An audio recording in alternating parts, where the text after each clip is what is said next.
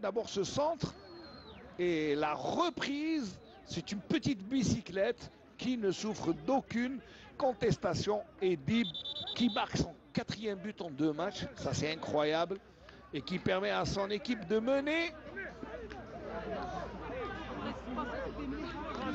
deux buts à un, et ça ne donne aucune chance à Morsley. Ah, c'est incroyable.